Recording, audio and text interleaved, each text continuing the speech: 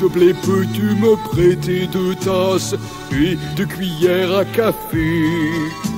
S'il te plaît, deux chaises et ta table basse, demain je les rapporterai. Quand on sait dire s'il te plaît, ce n'est pas compliqué. S'il te plaît, on peut tout demander. Quand on entend s'il te plaît, ce n'est pas compliqué. On voudrait tout donner.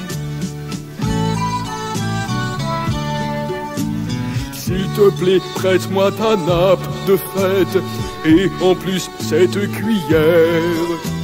S'il te plaît, il me faudrait deux assiettes. S'il te plaît, mets le couvert. Quand on sait dire s'il te plaît, ça n'est pas compliqué. S'il te plaît, on peut tout demander. Quand on entend s'il te plaît, ce n'est pas compliqué. On voudrait tout donner. Merci beaucoup de m'avoir invité. Merci pour le déjeuner. Oh, merci beaucoup de m'avoir tout prêté. Merci, tu m'as dépanné.